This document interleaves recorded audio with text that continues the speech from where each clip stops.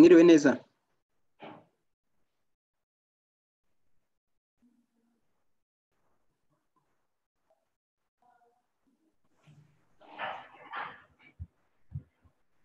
mwiriwe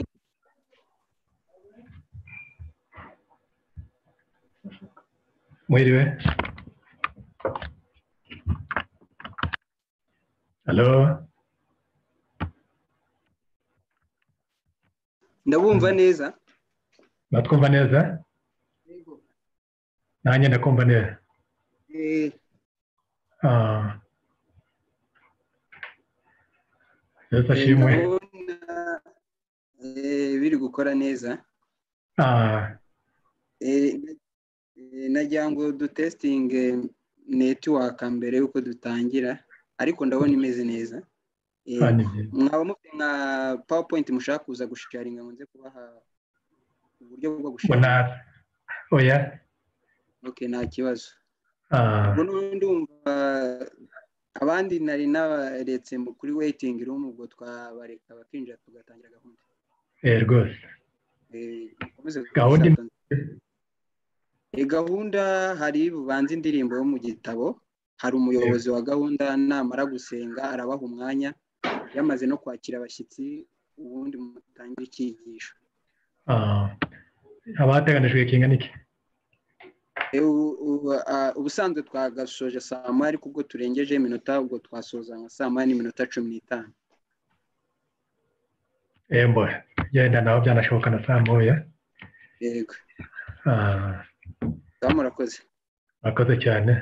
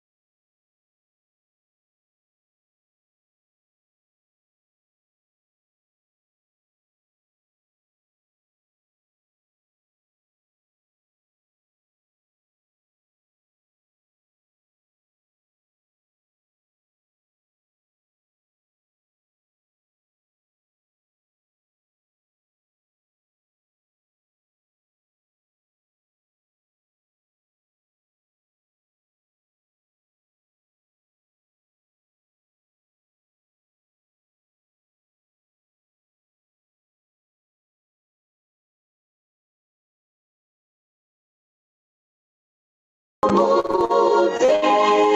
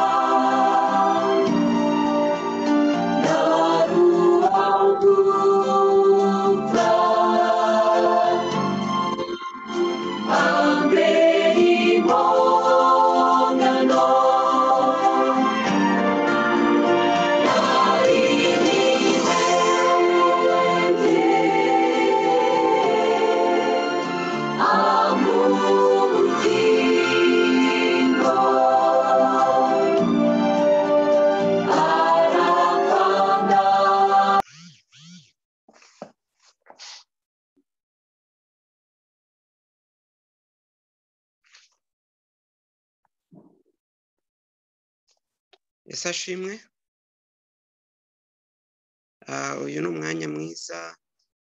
Tugezemo muri aka kanya tugira ngo dutangire isabato.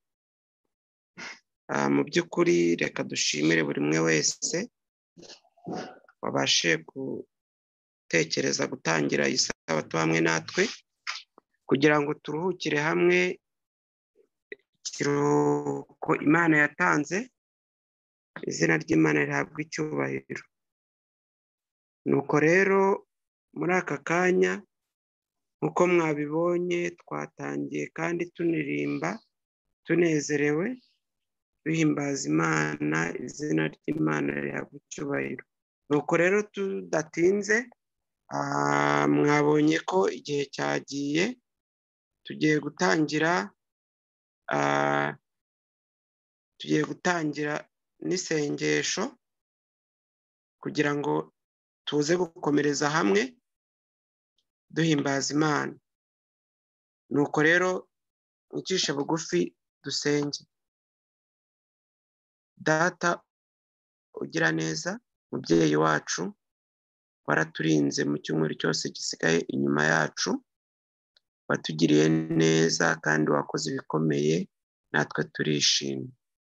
Rero muri aka kanya tugiye kubana n'umwigisha wacu Renzi Wiriso turakwinginze ngo umurinde abane nawe ndetse mu by'ukuri umwigishe ibyo agomba kutubwira kandi bihindure imitima yacu maze n'uzagaruka tuzawusane tudatsinzwe.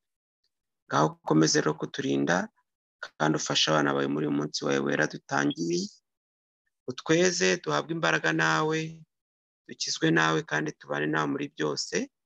Rero ngaho dufashe ufashe abantu bose ku isi hose abari gutangira isabato abadivantisiti umunsi wa karindwi ndetse n'abandi bose bari kumwe nabo abashyitsi n'abandi bose banyuranye rihabwe icyubahiro ukomeze kuturinda rero urinde gahunda zose dutangiye uyu munsi kuzageza ejo dusoza isabato byose tubikwatse mu izina rya yesu. Amen. Ah, nk'uko twabibonye rero mureke dukomeze gushimira imana. Ese turi kumvikana? Ah, mureke rero dushimire imana. Eh, mureke dushimire imana ikomeje kubana natwe. Ah, ni muri ubwo buryo muri uyu mugoroba twakiriye abashyitsi bose turi kumwe.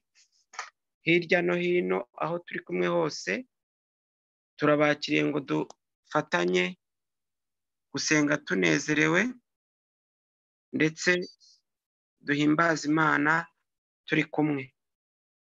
Rero abashyitsi b'uburyo bwose turabakiriye abari hano n'abari hirya no hino bose turabakiriye ko twabibonye imana yakomeje kuduha uburinzi nk'uko imana yakomeje kuduha uburinzi bwayo mureke dukomeze kuyishima kandi tuyihimbaze turi kumwe na yo imana ihabwa icyubahiro.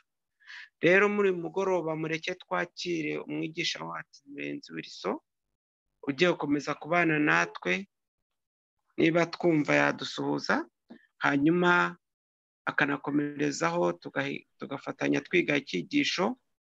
Mu by'ukuri turamwishimiye kandi ngira ngo hari nk'uko itorero ryacu dukunda abaza batwigisha ndetse babana natwe kandi tukizera ko imana ikomeza kubana nabo ikabaha imigisha myinshi. Mureke duhimbaze rero imana tudatinze tumuhe umwanya afatanye natwe kandi turamwakiye mu- muri ya sayo ya nyarugenge izina rya yesu. Amena kugira ngo murenzi w'iriso yakomeza. Amen. Murakoze cyane. Twishimiye ko mutwakira muri uyu mwanya w'isabato. Kandi tunejejwe cyane no kubana nawe turizera ko uwiteka tuyobora kandi tugasobanukirwa biruseho n'urukundo rwe no kubana nawe by'iteka byose turabishimiye.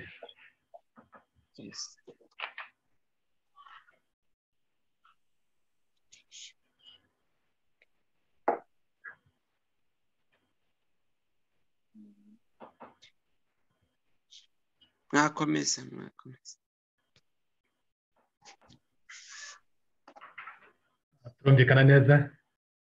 Turumvikana neza umwanya ni uwanyu wisa umwanya w'ikigisha cyane rwose. Murakoze cyane. Mm. Ah, ni amahirwe atangaje kandi ubu njye mbibona nko umugisha ukomeye cyane iyo abantu bagize amahirwe yo kwiga ijambo ry'imana. Nibyo bihe biruta ibindi kandi niwo mugisha uruta indi yose hano kuri iyi si uwiteka himbazwe ko tubonye uyu mwanya kandi turizera ko tuzunguka byinshi. Amen. Uko mwabibonye teme tuza kuganiraho uyu munsi n'ejo iratubwira ngo hahirwa umuntu wiringira uwiteka. Hahirwa umuntu wiringira uwiteka.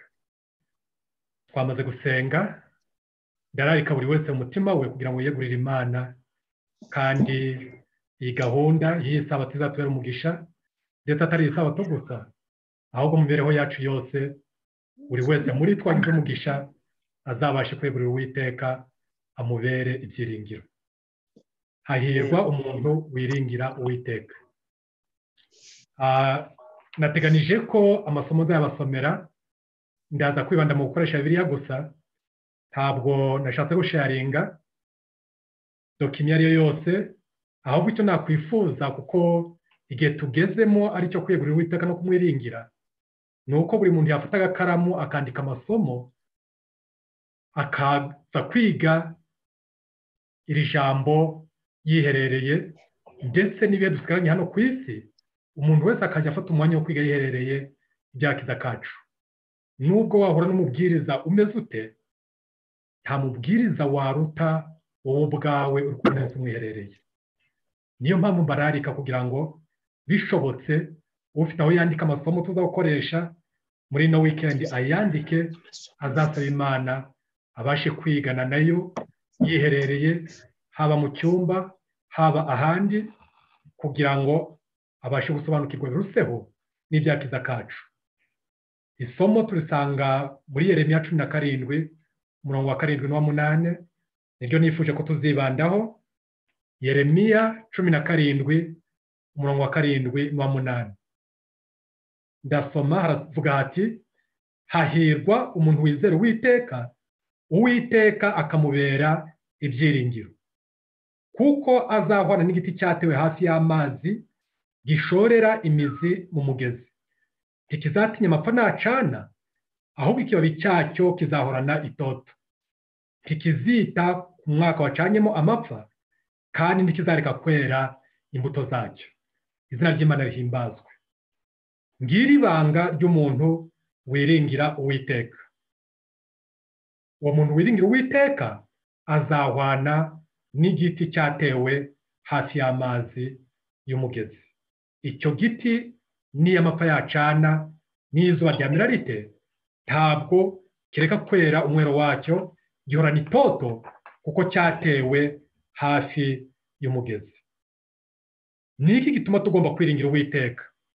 Hari impamvu nyinshi ariko nimugoroba ndagira ngo tuzirikane izigera kuri ebyiri zikomeye z'ingenzi. Ni iki gituma tugomba kwiringira uwiteka? Impamvu ya mbere ni uko uwiteka ari we muremyi wacu.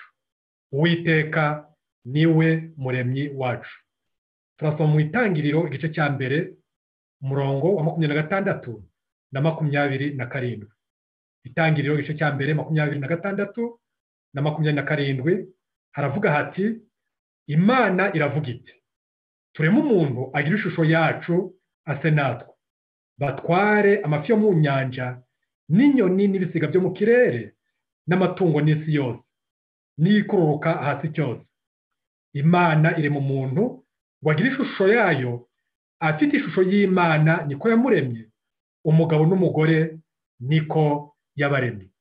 Murumva ko ari umugisha utangaje cyane kubona imana rurema imana ifite ububasha tutabona uko dusobanura yaremye amasi mu kinyarwanda tuyita amasi univere umuntu adashobora gusobanura ubugari bwayo ariko iravuga iti reka tureme umuntu ku ishusho yayo. Kuba njye nawe twararemwe ku ishusho y'imana ni umugisha ukomeye cyane ndetse n'urukundo ruhebuje rukomoka ku mana tutabasha gusobanukirwa. Birenze ibyo dushobora kwibwira ndetse mu byakozwe n'intumwa igitabo cy'ibyakozwe n'intumwa igice cya cumi na karindwi umurongo wa makumyabiri na gatandatu na makumyabiri n'umunani haravuga hati kandi yaremye amahanga yose y'abantu bakomoka ku muntu umwe ibakwiza mu isi yose. Ni nawe yashyizeho ibihe by'imyaka ko bikuranwa uko yategetse. Igabaniriza abantu ingabano z'aho batuye. Kugira ngo bashake imana ngo ahari babashe kuyibona bakabakabye kandi koko kiri kure y'umuntu wese muri twe. Umurongo wa makumyabiri n'umunani kuko ari muri yo dufite ubugingo bwacu tugenda turiho nk'uko bamwe mu bahimbyi b'indirimbo banyu bavuze bati turi urubyaro rwayo. Muzirikane aya magambo ari ku murongo wa makumyabiri n'umunani kuko ari muri yo dufite ubugingo bwacu tugenda turiho. Izina ry'imana rihimbazwe mu by'ukuri kuba muri yo ni ukuvuga mu mana dufite ubugingo bwacu tugenda kandi turiho ariyo tubikesha ni urukundo ruhebuje rukomoka ku mana niyo kwiringirwa. Hahirwa umuntu wiringira uwiteka. Ariko nubwo bimeze bityo n'ubwo imana agaragarije inyokomuntu urukundo ruhebuje ndetse rurenze uko twabyibwira iyo musomye muri bibiriya gice cya mbere cy'itangiriro n'icya kabiri tuhabona irema. Ariko mu bice bikurikiyeho ntabwo dukomeza kubona amateka ya adamu anezerewe hamwe n'imana. Uwo mugisha yari yagize kubera iki? Impamvu ni imwe gusa ni uko adamu yaje gucumura. Adamu yaje gucumura. Ibyo byabaye imbogamizi ikomeye kuri adamu. Ndetse imbogamizi mbi cyane yaje kugera no kunyuka muntu yose. Mu itangiriro cya gatatu umurongo wa kane n'uwa gatandatu itangiriro igice cya gatatu umurongo wa kane n'uwa gatandatu ndajya nsubira mu isomo nibura inshuro ebyiri kugira ngo ushaka kwandika abizirikane itangiriro gatatu umurongo wa kane n'uwa gatandatu. Iyo nzoka ibwira umugore iti gupfa ntimuzapfa. Kuko imana izi yuko ku munsi mwaziriyeho amaso yanyu azahweza mugahindurwa nk'imana mukamenya icyiza n'ikibi. Imana yari yarahaye umugisha wo kumenya icyiza gusa. Ariko inzoka irababwira iti umunsi mwakiriyeho ntabwo muzapfa ahubwo muzaba nk'imana ndetse mubashe kumenya icyiza n'ikibi. Umugore ntabwo yumviye inama y'imana iteko yari yarabahaye ahubwo ngo uwo mugore ku murongo wa gatandatu uwo mugore abonye yuko icyo giti gifite ibyo kurya byiza kandi ko ari ikigikundiro kandi ari cyo kwifuriza kumenyesha umuntu ubwenge asoroma ku mbuto zacyo arazirya aho n'umugabo we wari kumwe nawe arazirya. Nuko adamu na eva bagwa mu mutego ukomeye. Hari abantu benshi bakunda kwibaza bati ese kurya kwitunda byaba byaragize ingaruka zingana zitya? Ariko ndashaka kubabwira ko icyatumye barijyaho ari cyo gikomeye cyane ndetse ari cyo cyaha gikomeye. Kugitunda byabaye ingaruka ariko icyaha bari bakoze ni ikihe? Inzoka yari yababwiye iti amaso yanyu azahweza maze muzahindurwa nk'imana. Gushaka guhindurwa nk'imana ngiyi ingorane ikomeye cyane adamu na eva bahuye na yo. Ngiyi ingorane ikomeye cyane adamu na eva bahuye na yo. Ubundi bariho ariko kubaho kwabo babikesha imana. Ariko ngo bashaka kugenza bate? Gusa n'imana iyo mwitegereje neza muzasanga barakoze icyaha neza neza gihwanye n'icyo satani yakoze. Satani icyo yakoze ni ikihe?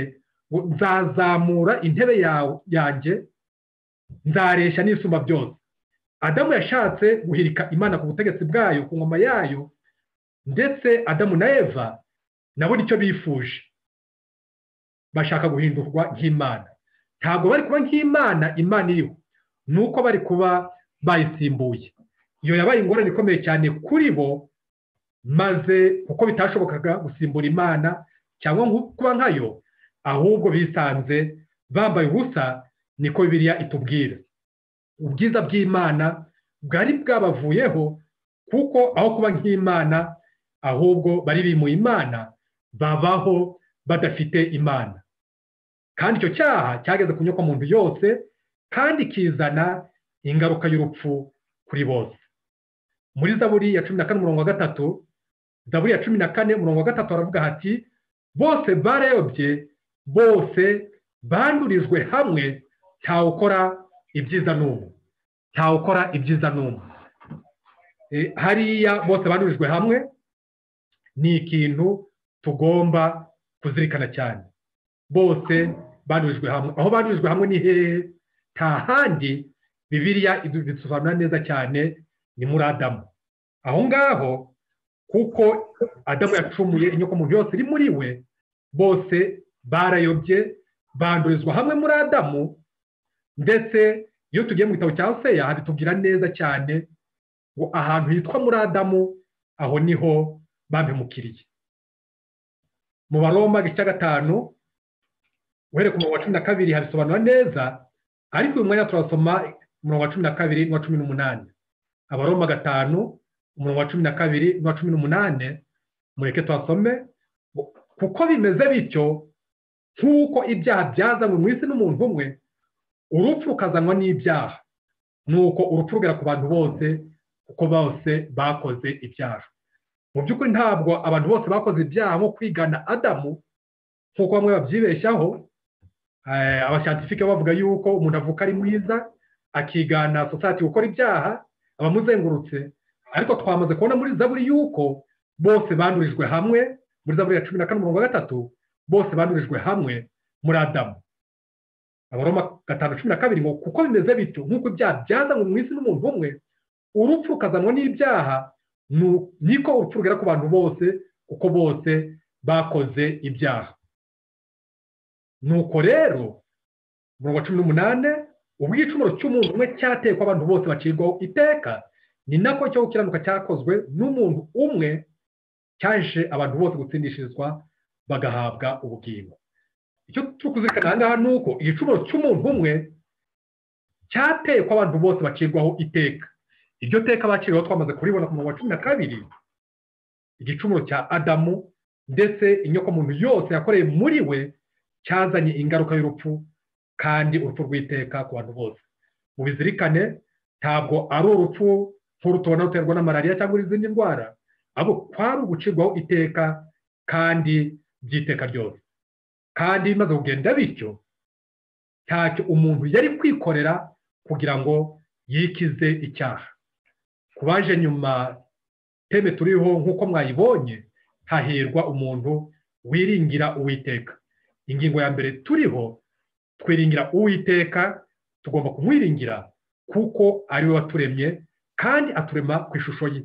Nyamara icyaha cyakozwe na adamu turi muri we cyatuzaniye ingaruka y'urupfu.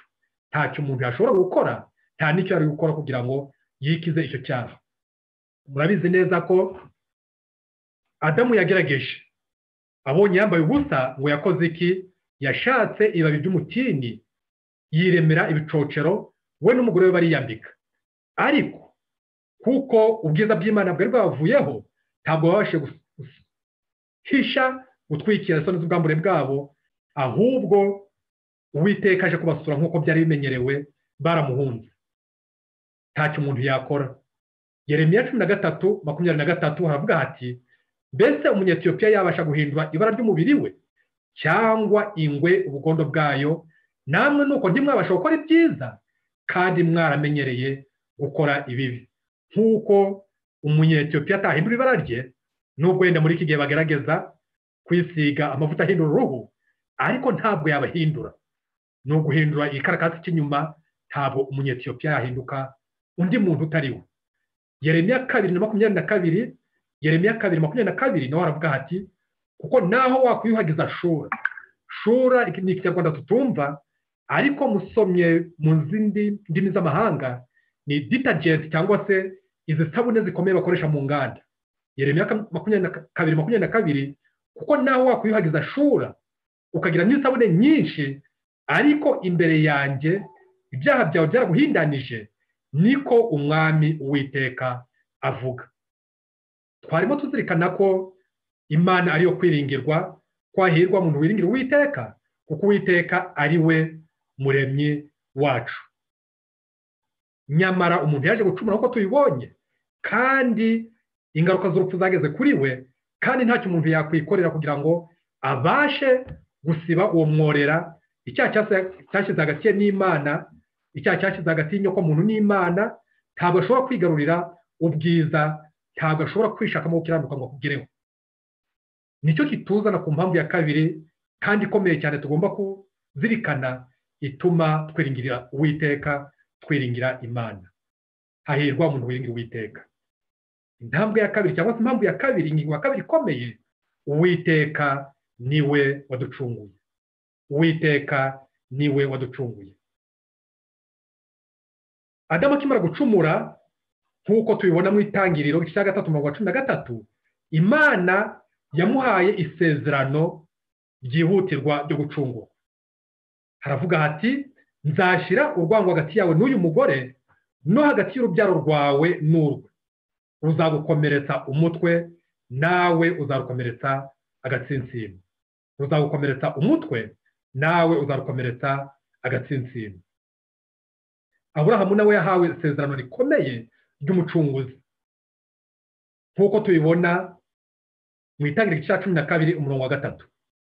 Itangiriro cumi na kabiri gatatu baravuga hati kandi nzaha umugisha abakwifuriza umugisha. Kandi uzakuvuma nzamuvuma. Kandi muri wowe nimo imiryango yose yo mu isi izaherwa umugisha. Muri wowe mu rubyaro rwawe twabonye no kuri adamu mu rubyaro rwawe. Uzakomeretsa agatsinsino n'uzakomoka mu rukiryi rwa adamu. Naburahamu arabwiwe ngo muri wowe kuvuga mu rubyaro rwawe. Ese urwo rubyaro ni uruhe? Reka twihutire mu bagarati y'igice cya gatatu cumi na gatandatu. Abagarati ya gatatu cumi na gatandatu hari ubusobanuro bukomeye cyane. Nuko rero ibyasezeranijwe byasezeranijwe aburahamu n'urubyaro rwe. Nyamara imana kirakavuga iti imbyaro nko kuvuga benshi ahubwo iti ni urubyaro rwawe nko kuvuga umwe ari we kirisito izina ry'imana rihimbazwa. Urwo rubyaro rwasezeranijwe adamu rwari rukomoka muri we. Urwo rubyaro rwasezeranijwe aburahamu nta rundi. Ni kirisito yesu umucunguzi wacu. Niwe wari kuza akatubera igisubizo. Urugero rw'abisirayeri bava muri egiputa ni icyigisho gikomeye ni ishusho ikomeye yo gucungurwa kwacu. Mose na yesu bafite icyo bahuriyeho gikomeye mu cyigisho cy'agakiza k'inyokomuntu ese icyo ni ikihe? Mu byakozwe n'intumwa igice cya gatatu makumyabiri na kabiri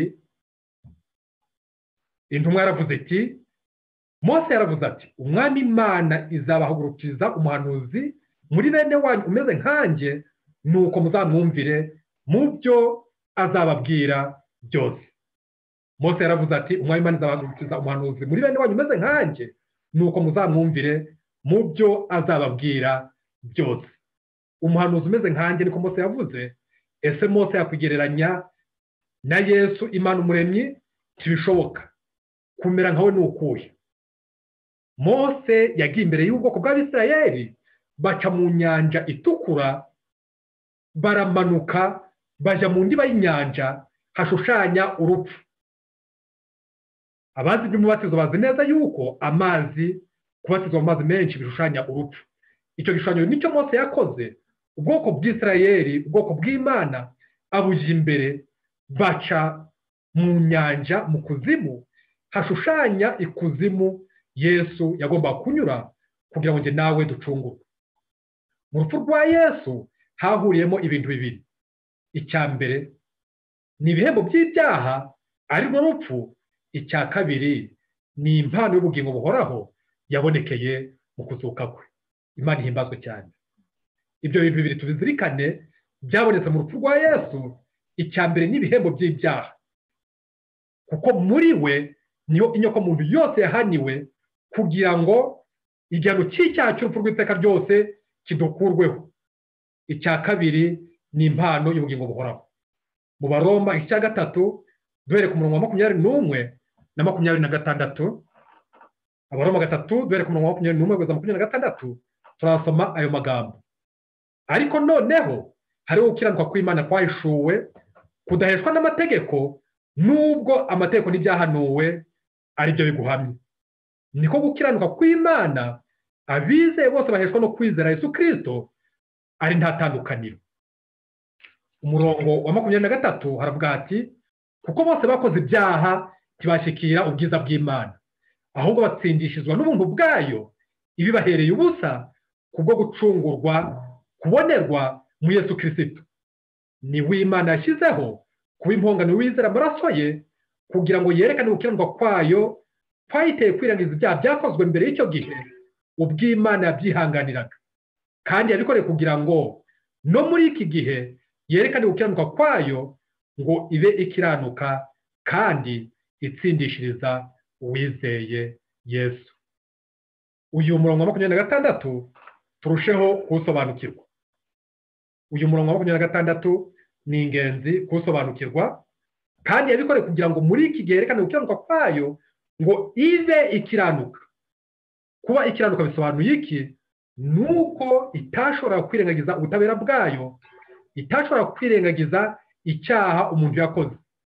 Tugomba kuzirikana ko imana ibabarira abanyabyaha uko bangana. Uko baba barakoze ibyaha kose n'uwaba yarashayishe bingana iki imana iramubabarira. Ariko imana ntishobora kubabarira icyaha. Byanze bikunze icyaha cyagombaga guhanwa. Icya kabiri itsindishiriza uwizeye yesu. Imana igomba kuba ikiranuka kandi igatsindishiriza uwizeye yesu. Mu yandi magambo umunyabyaha agomba guhanwa kandi akabona imbabazi akabona gukira akabona ubugingo. Agatsindishirizwa. Yohana cumi na kabiri mirongo makumyabiri na kane hari amagambo akomeye adusobanurira iyi ngingo uko byagenze kugira ngo bishoboke byombi. Muribuka ko no muri zaburi. Hatubwira ko imbabazi n'umurava ku musaraba byahuye bigasomana bigahoberana. Muri bibiliya y'ikinyarwanda hatubwira ko byahoberanye. Muri bibiliya y'icyongereza batubwira amagambo akomeye ati deyikisiti imbabazi n'umurava. Umurava ariko butabera ndetse imbabazi gutsindirishirizwa cyangwa se ari bwo buntu buhebuje bw'imana. Yohana cumi na kabiri makumyabiri na kane yesu yatubwiye uko byagomba kuba. Ni umugani mugufi cyane yesu yaciye uduhishurira ukuri gutangaje. Uyu mugani uravuga ngo ni ukuri ni ukuri ndababwira yuko iyo akabuto k'ishaka kataguye hasi ngo gapfe kagumaho konyine.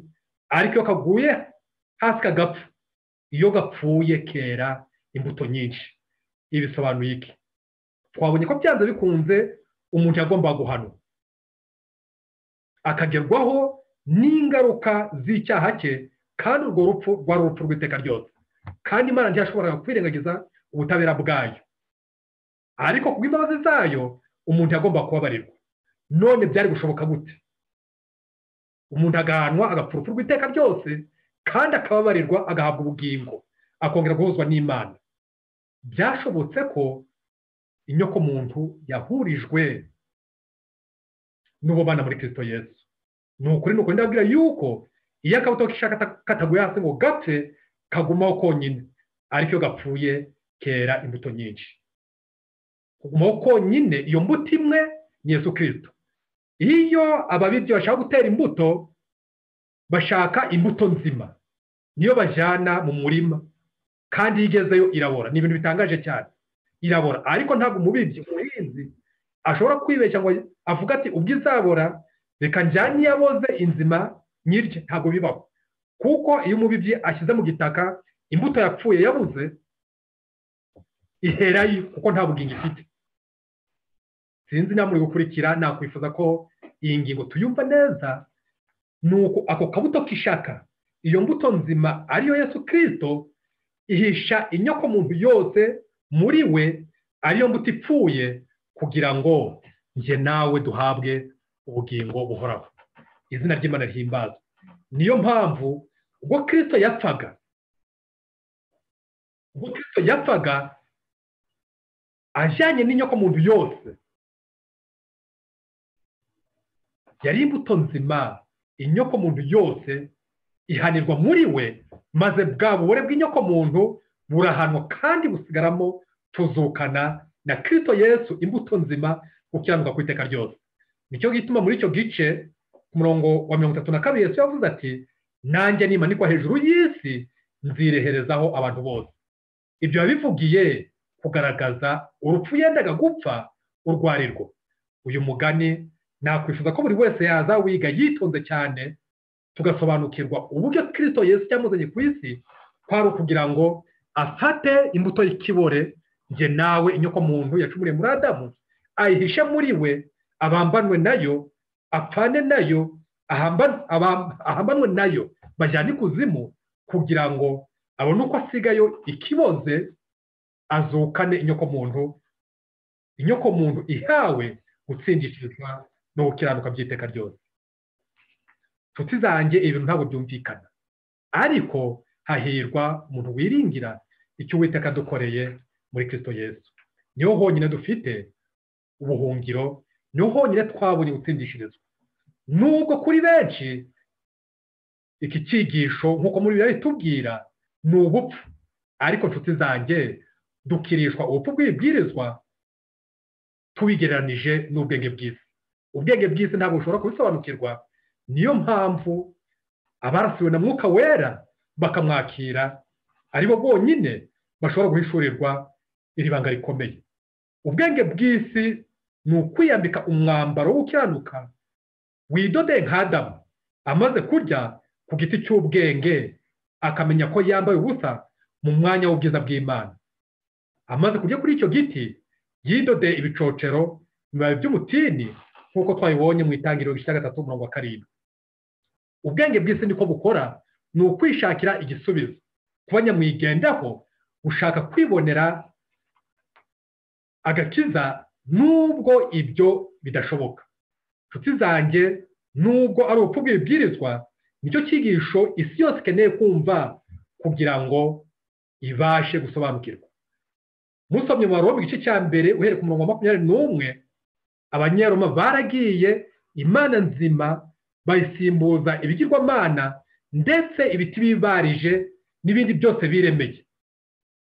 Bigizayo imana umuremyi.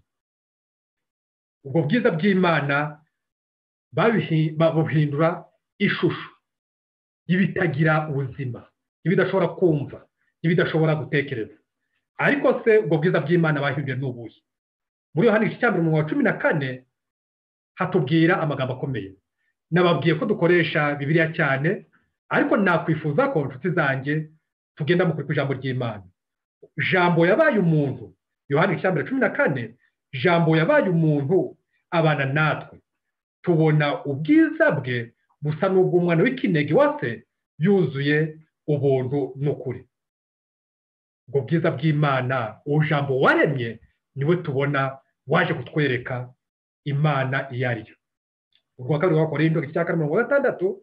Urwa kabiri rwa korindwi igice cya kane umurongo wa gatandatu. Imana yategetse ko umucyo kuva uturutse mu mwijima. Niyo yaviriye mu mitima yacu kugira ngo imurikishe ubwenge bwo kumenya ubwiza bw'imana. Buri mu maso ha yesu kirisito imana yashyizeho kirisito wenyine kugira ngo ari we utubera umucunguzi. Ubwo bwiza bw'imana twabuboneye muri ishusho y'imana ari we kirisito yesu. Ijambo yabaye umuntu abana natwe.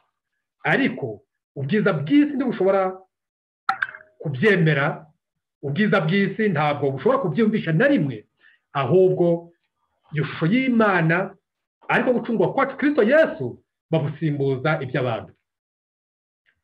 Urwa mbere rwa korinti cya mbere umurongo wa cumi n'umunani na makumyabiri na gatatu hatubwira amagambo akomeye cyane. Ijambo ry'umusaraba. Ku barimbuka ni ubupfu ariko kuri twebwe abakizwa ni imbaraga z'imana.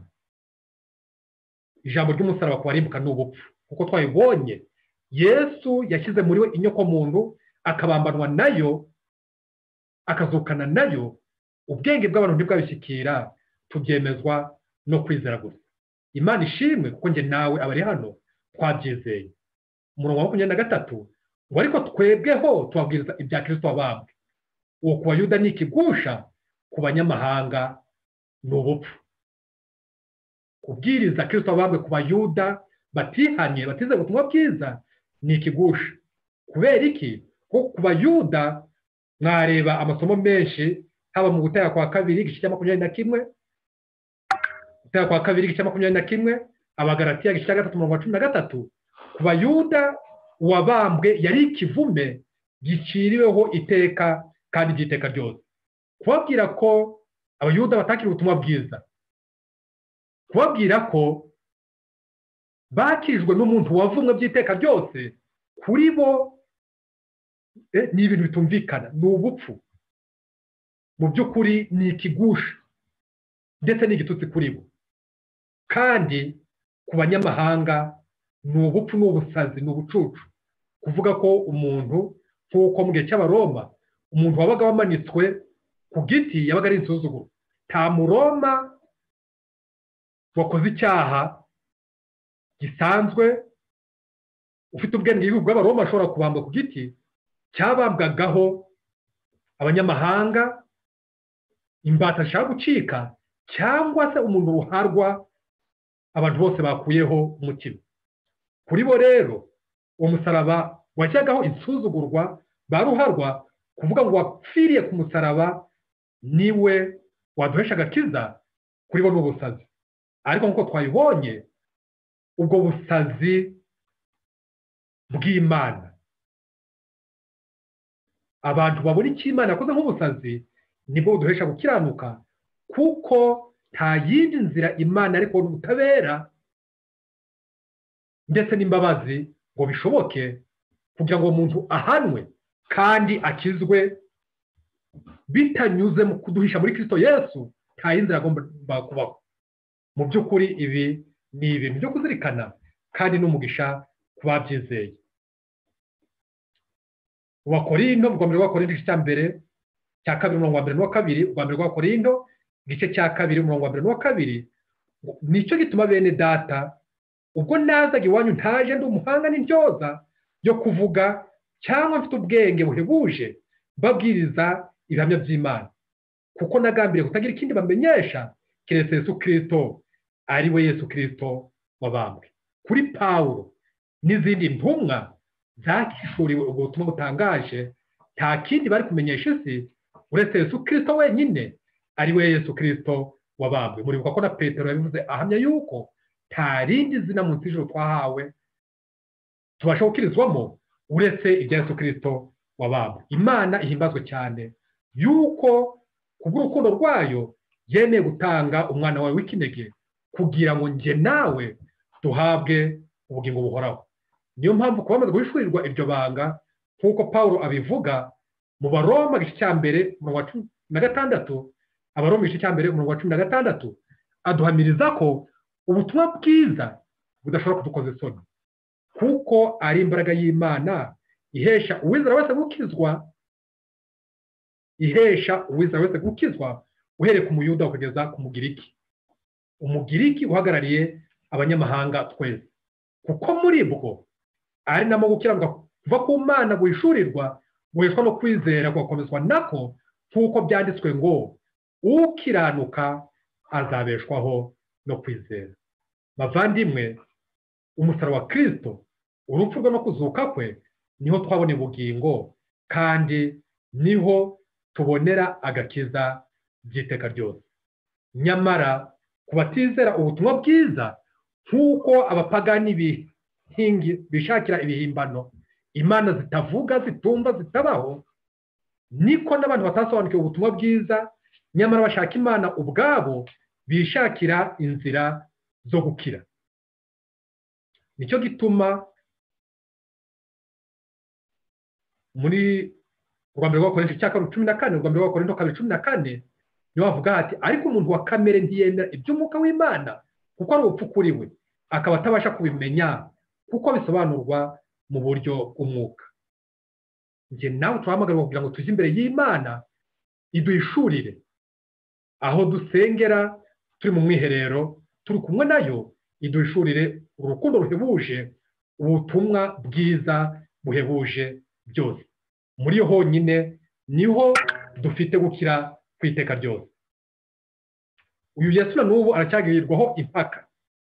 Siko twese twemera ngo atubere ubwenge buva ku mana. Turacyishakamo ubwenge bwacu bwatwambika maze tukaberwa. Ngiyi ingorane dufite. Ndetse hari n'abashaka kujya ku mana ari uko bamaze kugira icyo bikorera kugira ngo bemerwe n'imana. Ariko nk'uko bitashobokeye adamu gutinywa kuza imbere y'imana amaze kwiyambika ibibabi by'imitini niko natwe bitadushobokera kubaza indirimbo ijana na mirongo itandatu na gatandatu igice cya kabiri hatubwira ngo iki? Ibyo twakora byose n'umwete wacu ungana iki? Wose n'agahinda gasaze n'amarira adashira. Hari icyo byatumarira? Nta na gito. Ntabwo bibasha kudukuraho ibyaha. Ndashaka kubabwira ko bishingiye ku myumvire abantu bafite hari amadini atatu akomeye hano muri iyi si ibi bintu mubizirikane. Mu isi turabizi neza ko hari za denominations nyinshi cyane amatoro menshi cyane amatsinda menshi cyane y'abasenga hari amadini ibihumbi bitabarika. Ariko yose akubiye mu madini atatu gusa. Dushingiye ku myumvire. Idini ya mbere ni ishingiye kuri nge gusa. Nge njyenyine ndi kamara. Iyo dini yitwa ubupagani abantu gushaka kwibeshaho badafite imana. Idini ya mbere ni nge nge njyenyine nakwibeshaho. Abaroma ba mbere murabizi bahinyuye kugira neza ko imana ngo tubasanga amaroma igice cya mbere uhereye ku murongo wa cumi n'umunani ukageza mirongo itatu na kabiri ntabwo twasoma ariko inshuti zanjye ntabwo byagarukiye aho gusa byarakomeje na nyuma ndetse murabizi mu cyiswe ubuhanga bukomeye ku isi revolisiyo faranseze nabo baravuze bati siyansi zatuma tugera ku bintu bihambaye ndetse umuntu azashobora kwibeshaho adafite imana. Ariko se kuva icyo kugeza uyu munsi uko tubibona umuntu aragenda gushobora kwibeshaho cyangwa aragenda arushaho guhenebera no gupfa. Idini ya mbere ni ishingiye kuri njye gusa ari bwo bupagani. Idini ya kabiri ni ishingiye kuri njye wongeyeho kirisito njye wongeyeho kirisito ibyo ni byo birayita kwihangira gukiranuka. Ni ukwikirisha ibikorwa byiza ufashijwe n'imana. Nubwo abantu ku rwanda bibwira ko bafashwa n'imana twabyita ubukirisito ariko bibiri byita kwihangira gukiranuka kandi amaherezo y'iyo nzira na yo iganisha hehe ku kurimbuka. Birababaje kuba abantu benshi bafite umuhati mwinshi cyane wo gushaka imana ariko bakoresha umuhati wabo kugira ngo imana ibafashe. Ndashaka kubabwira ko iyi ari idini yitwa njyewongeho kirisito kandi iyo dini yo kurenga gukiranuka iteye ubwoba cyane na yo iganisha kurimbuka. Tubisoma mu baroma igice cya cumi umurongo wa mbere kugeza uwa gatatu. Abaroma igice cya cumi umurongo wa mbere kugeza uwa gatatu. Bene data. Ibyo umutima wanjye wifuza n'ibyo nsabira abisirayeli ku mana ni ukugira ngo bakizwe. Ndabahamya yuko bafite ishyaka ry'imana ariko ritava mu bwenge. Kuko ubwo bari batazi gukiranuka kw'imana uko ariko bagerageje kwihangira gukiranuka kwabo ubwabo bituma basuzugura gukiranuka kw'imana. Gukiranuka kw'imana ni ukuhe? Tubibona ku murongo wa kane kuko kirisito ari wo amategeko asohoraho kandi ni we uhesha uwizera wese gukiranuka umuhati mwinshi cyane uko waba ungana kose inshuti zanjye ariko utararambika hasi. Utararambika hasi uwo nguwo ni umuhati uganisha ku buyobe utararambika hasi nge kirisito niko wenyine muri twebwe ni umuhati uganisha guhakana kirisito yesu. Twumvise amadini abiri y'ubuyobe irya mbere n'irishingiye kuri njyewe njyenyine nzibeshaho nzigira. Irya kabiri ni irishingiye kuri njyewe wongeyeho kirisito ibyo bibiriya ibyita kwihangira gukiranuka kwikirisha amategeko cyangwa se legalism. Iyo na yo nk'uko twayibonye iganisha kurimbuka. Kuko yesu yabwiye abayuda ati mufite umuhati mwinshi cyane bwo kurondora mu byanditswe ngo mubone gukira. Nyamara mwanze kuza aho ndi ngo mbaheshe ubugingo. Ibya kirisito ntabwo bishobora guterana n'iby'umuntu ni uguhitamo kimwe muri byo. Nicyo gituma narari ko dusobanukirwa n'idini ya gatatu ni idini ishingiye kuri kirisito wenyine. Hahirwa umuntu ugenza ate? Wiringira uwiteka. Hahirwa umuntu wizera uwiteka uwiteka akamubera ibyiringiro. Kirisito wenyine ariyo dini ishingiye ku kwizera gusa niyo nakubarikiranye nawe kugira ngo tubashe kwakira agakiza gashingiye ku buntu bw'imana gusa no kubeshaho nabwo kubeshwaho n'ubwo buntu. Niho honyine dufite gukira. Niho honyine dufite gukira. Niyo mpamvu nabararika kugira ngo twakire idini ya gatatu uburyo bw'imisengere bwa gatatu kwizera kirisito wenyine akaba ari we uhabwa umwanya mu misengere yacu mu mibereho yacu mu migendere yacu yose. Ndashaka kubibutsa ko yesu adashobora gutera inkunga abizera. Yesu akorera ubushake bwe mu mibereho y'abizera. Ntabwo dutera inkunga ahubwo akorera mu mibereho yacu. Ntabwo yaje kutwongera ubutwari ahubwo yaje kutubarikira kugira ngo tumureke akorere mu mibereho yacu. Yesu niyo ukora igihe cyose umuntu amwemereye kubwo kwizera. Ni ukuvuga iyo amwemereye adashidikanya ko abishoboye rwose. Hari ikibazo nifuje ko nababaza muri matayo igice cya munani tuhasanga igitekerezo. Ubwo abigishwa bari mu bwato bike mu bwato bagezemo bahura n'umuraba mwinshi cyane yesu amaze kubwinjiramo reka tuhasome twihuta iki gitekerezo ni kigufi cyane mureke tugisome yikira mu bwato abigishwa bajyana nawe umuyaga uba mwinshi mu nyanja ubwato bwabo burengerwa n'umuraba. Ndi gusoma mata y'igice cya munani uhereye kuri makumyabiri na gatatu kugeza makumyabiri n'umunani. Ngo yikira mu bwato abigishwa be bajyana nawe umuyaga uba mwinshi mu nyanja ubwato bwabo burarengerwa n'umuraba wisuka muri bwo. Ariko we yari asinziriye. Baraza baramukangura bati databuja dukize turapfuye. Arababaza ati ni iki kibateye ubwoba? Mwaba mfite kwizera gukemwe. Maze arabyuka acyaha umuyaga n'inyanja. Baratuza rwose. Biratuza rwose. Umuyaga n'inyanja umuyaga n'inyanja biratuza rwose. Abantu baratangara bati uyu ni muntu ki umuyaga n'inyanja na byo biramwumvira. Zanjye iyo uza kuba muri ubwo bwato wari gukora iki? Icyo wari gukora kikwereka neza idini urimo. Sinzi niba hari uwansubiza hose niba yaha umuntu ijambo imwe umuntu umwe gusa tukihuta inota mike dusigaranye. Ari wowe wakora iki? Iyo uza kuba muri ubwo bwato uwifuza gusubiza aramanika ukuboko tumuha umwanya. Wari gukora iki iyo uza kuba muri buriya bwato?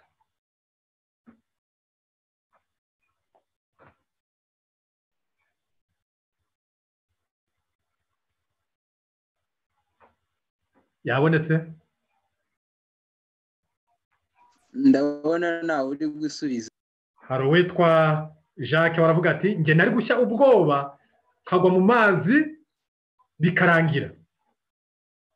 Uyu yakiriye ubutumwa bwiza ariko icyo gihe iyo aza kuhaba yari gufatwa n'ubwoba akagwa mu mazi. Uwo nguwo ari mu idini twabonye mbere ariyo dini yitwa ubupagani ni ukuvuga umuntu yirwanaho atakwishobora agapfa ngiyi dini y'ubupagani undi reka wenda twakira undi muntu umwe gusa.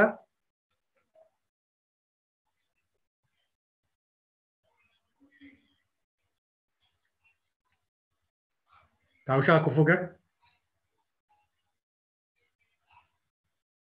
Reka twihute. Uri mu idini ya kabiri we yari kuvuga ati reka senge cyane nkomeze.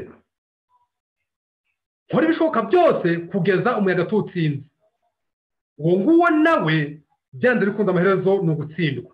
Inshuti zanjye mubizirikane niyo yaba asaba amasengesho angana ate? Ariko akirwana n'umuraba nawe amaherezo ni ugutsindwa. Niyo mpamvu yesu yavuze ati benshi bazaza ku munsi w'imperuka bavuga bati twakoze ibintu byinshi mu izina ryawe. Twakoraga ibitangaza ndetse twirukanye n'abadayimoni. Mu izina ryawe. Babikoraga mu izina rya nde rya yesu. Ariko yesu azaberura ati sinigeze kubamenya nimumve imbere mwa nkozi z'ibintu ariko uri mu idini ya gatatu iyo mugarutse mu gice cya munani haruguru mukareba uriya mutware w'abasirikari wabwiye yesu ati si ngombwa kuza iwanjye. Niyo wateka uraho uri umugaragu wanjye arakira. Ndahamya neza ko iyo aza kuba muri ubwo bwato icyo ari gukora ni kimwe gusa. Yari kubona yesu asinziriye. Nawe akagenda akisinzirira. Akavuga ati ntacyo umuraba watwara uwaremye inyanja. Mbese hari icyo umuraba watwara uwaremye inyanja? Bavandimwe hari icyo umuraba w'inyanja watwara uwayiremye ni ibintu bidashoboka. Uriya mutware w'abasirikari yari kugenda akisinzirira akaryama iruhande rwa yesu haba mu gituza cye haba mu maguru akavuga ati umwami aruhutse nange reka ngenze nte? Nisinzirire kuko ntacyo umuraba watwara ubwato yesu arimo. Kwizera ni ukwimuka tukava mu bwato bwacu tukajya mu bwa yesu. Imana ihimbazwe cyane kuko ibiduhera ubuntu. Nicyo gituma paul yavuze ati ku bwanjye ni kirisito kandi ati ibyo nkora byose nkiriho muri uyu mubiri bikoreshwa no kwizera umwana w'imana wanjye nzagenza ate akanyitangira akanyitangira mu gitabo cya kirisito yesu twazirikane ibintu byahabereye kugira ngo biduhe ibyingo by'iteka byose ku musaraba binyuze mu gitabo cya kirisito yesu twahaboneye kubabarirwa gutsindishirizwa kwezwa kungwa n'imana kugirwa abana n'abaraganwa na kirisito gushaka kugira icyo muntu yongeraho ni ukubyanduza. Nyamara gukenerwa kwa kirisito ntigushobora kwandura ahubwo umuntu aba yihindanya ubwe. Uko umuntu arushaho gukomeza kwishakamo gukiranuka ashaka kwitunganya ngo yemerwe n'imana aba yikereza gusingira gukiranuka. Uko umuntu arushaho kurwana n'umuraba niko arushaho kujya mu bwihebe kandi amaherezo iyo atarekuye ngo atabaze yesu amaherezo ni ukurimbuka.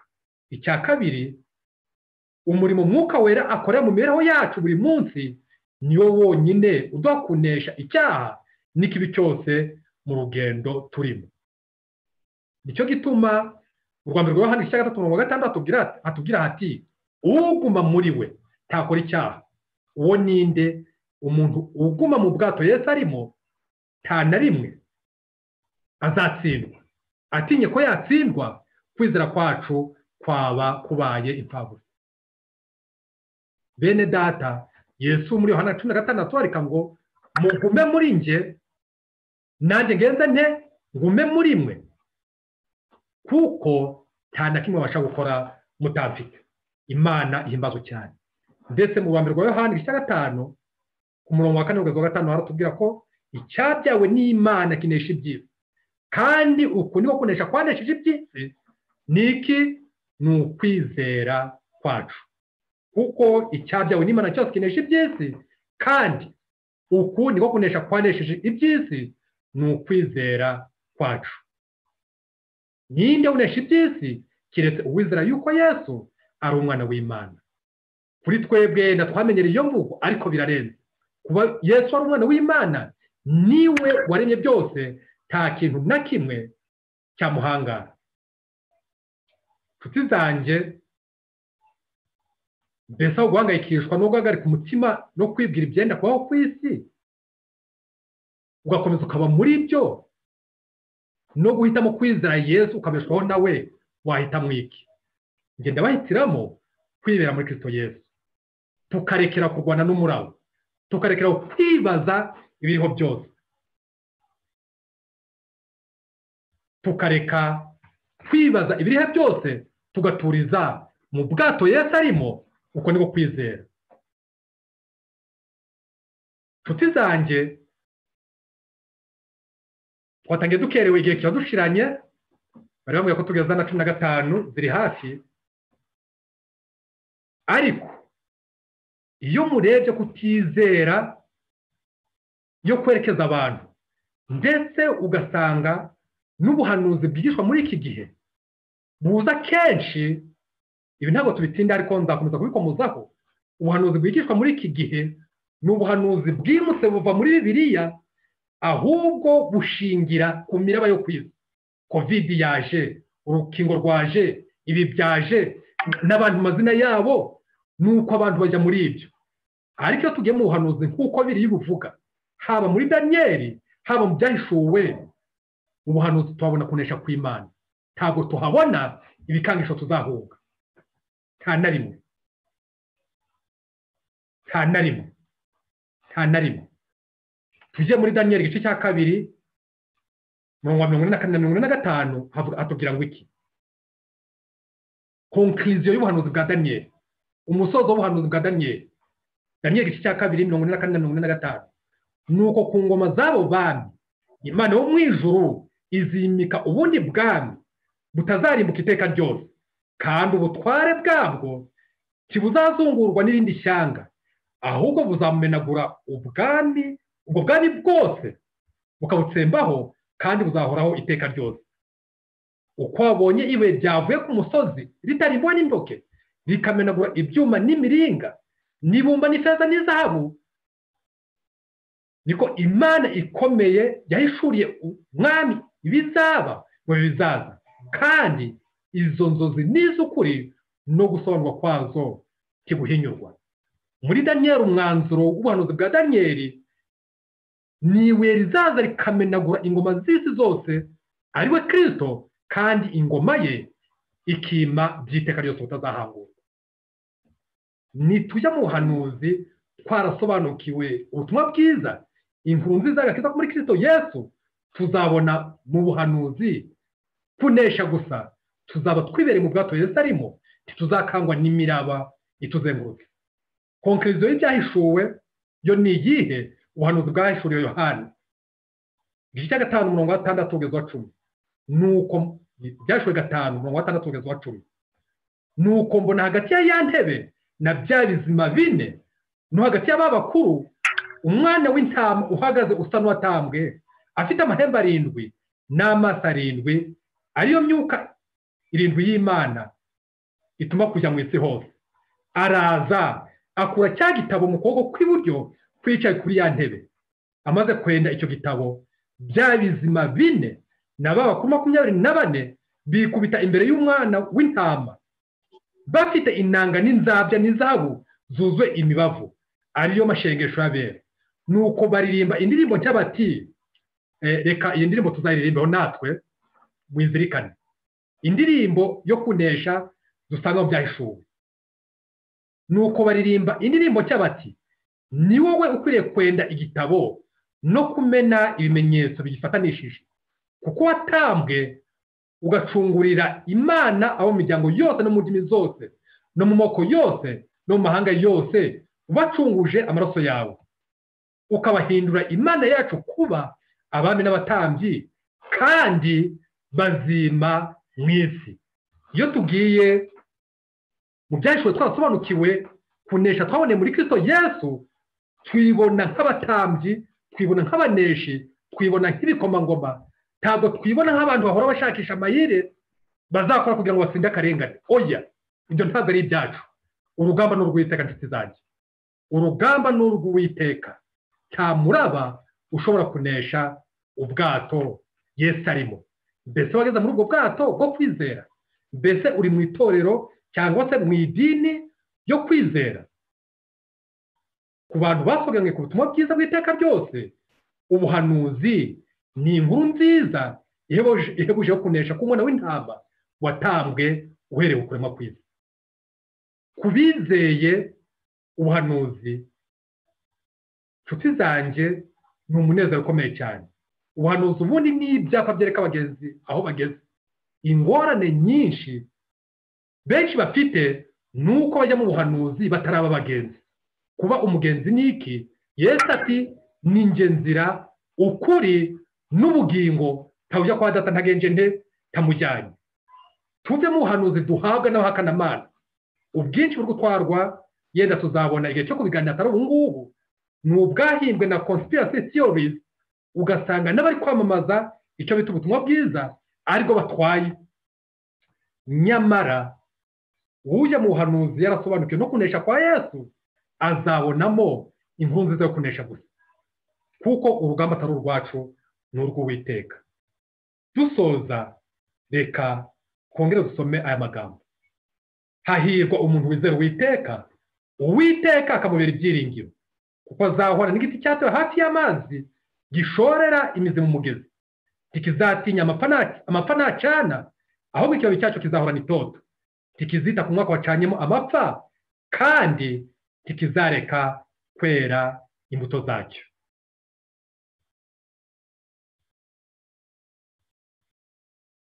Nimugera imuhira musome abaroma igice cya munani mwereye ku murongo wa mirongo itatu n'umwe haduhamiriza ko ntakishobora kudutandukanya n'urukundo rwa kirisito nta na kimwe.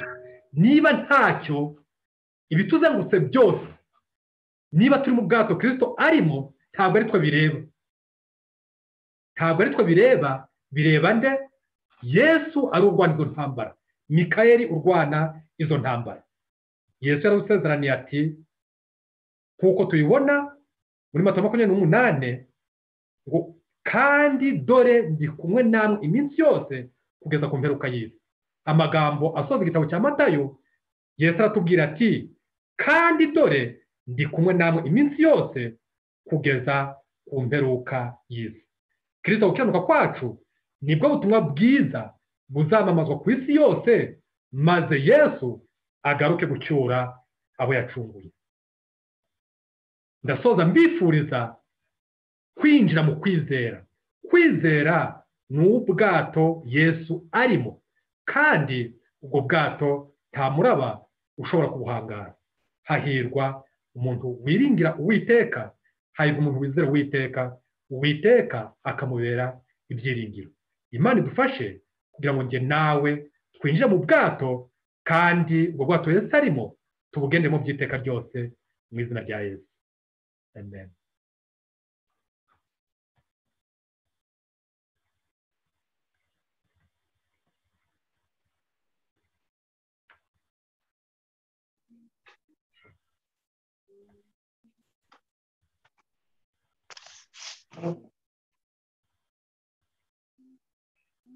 Mureke dushimire mwigisha wacu murenzi w'iriso mu by'ukuri ah, imana yamukoresheje nk'uko twahoze tubivuga.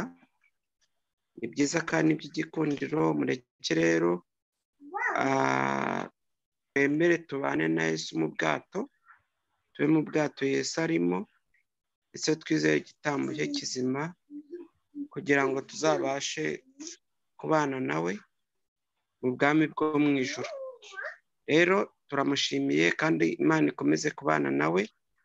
Ah, tugiye kuririmba indirimbo ya magana abiri na karindwi. Ah, samu arayidufasha hanyuma niturangiza ah, buri so ari ari busenge.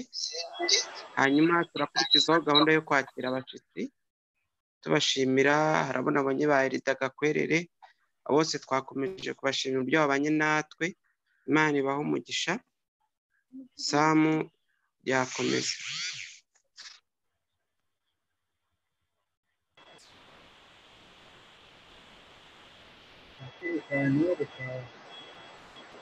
Nanjye cyangwa se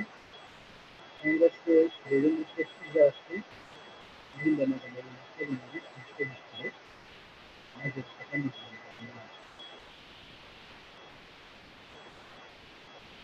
samu ntabwo turi bukumva neza mwagerageza kongera ijwi murakoze mwamunyumva Eh, turakumva neza mugerageze kongera ijwi murakoze bivuze ngo turambure ibitabo byacu tugere kuri magana abiri na karindwi cyangwa se sofuti fati ibikoresha maze tukayihimbaza imana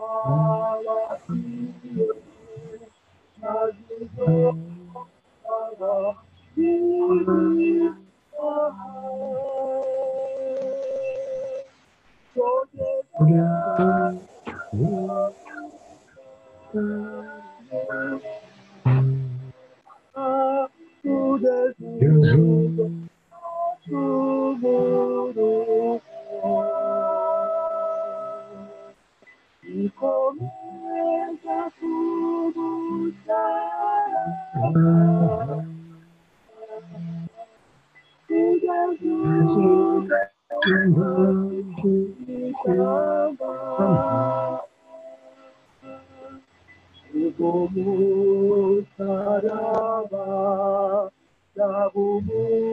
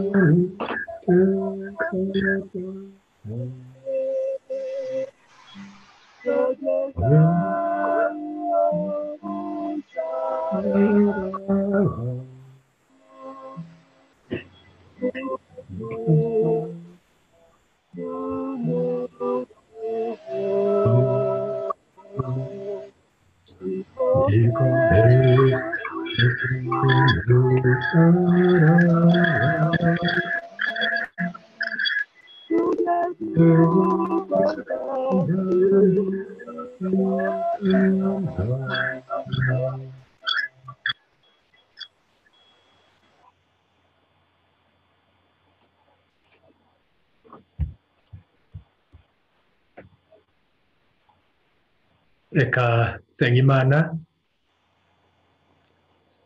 data muri dukunda uri mu ijoro izina ryawe niryubahwe ubwami bwawe buze kandi ibyo ushaka bimaze kubaho mu ijoro turagushimira ko mutangabugingo waturemye ukatubeshaho ariko turagushimira cyane ko ubwo nyako umuntu yatandukanye nawe utayitereranye ukayicungwa ku gitambo cya kirisito yesu. Uduha agakiza udusubiza kuba abaragwa ndetse tukaba twabera baziranira imbere yawe. Binyuze muri kirisito yesu imana uhimbazwe. Twagize umugisha ukomeye cyane wo kuganira ku ijambo ry'ubugingo. Turasaba kugira ngo uwagize amahirwe wese wo gusangira kuri uyu mutsima w'ubugingo ahazwe nawe. Maze twese twegure imitima yacu twemere kwinjira mu bwato kirisito arimo ariko kwizera twahawe rimwe risa ngo biduhagije by'iteka ryose tugengwe nawe kugeza ubwo azaza. Sasa ngo twiteguye tubyambaje mu izina rya yesu. Amen. Amen.